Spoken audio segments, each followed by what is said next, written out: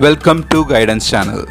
Today we are going to discuss about top superbikes in India. Here comes Kawasaki Ninja H2 with 998cc, maximum power of 197 bhp and top speed of 183 miles per hour. Then comes Yamaha YZF R1 998cc engine with a max power of 194.3 bhp and top speed of 177 miles per hour.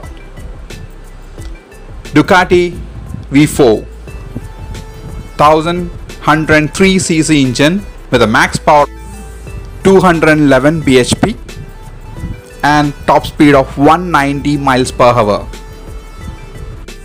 Then comes BMW S1000RR 999cc engine with a max power of 200.8 bhp with a top speed of 199 miles per hour. Honda CBR 1000RR again with the engine cc of 999 max power of 186 bhp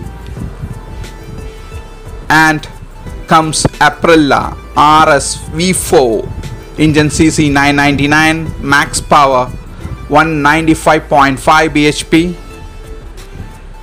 Agusta F4R with the engine cc of 998 and max power of 192.3 bhp enjoy watching guidance channel.